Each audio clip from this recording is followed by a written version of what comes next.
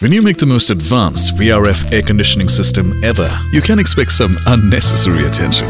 Blue Star, nobody cools better.